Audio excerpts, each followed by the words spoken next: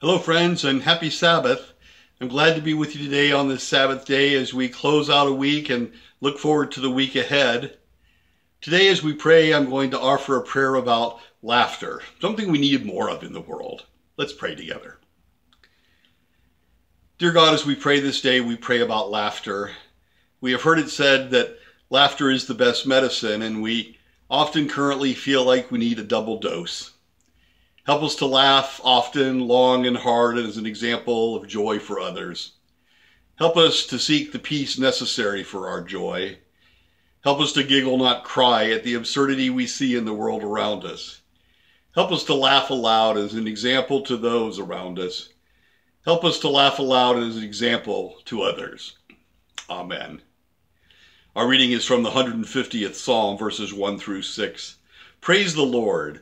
Praise God in his sanctuary. Praise him in his mighty firmament. Praise him for his mighty deeds. Praise him according to his surpassing greatness. Praise him with trumpet sound. Praise him with lute and harp. Praise him with tambourine and dance. Praise him with strings and pipe. Praise him with clanging cymbals. Praise him with loud clashing cymbals. Let everything that breathes praise the Lord. Praise the Lord. Friends, this is the word of the Lord. Thanks be to God. Have a blessed day, a wonderful Sabbath, and remember to love one another.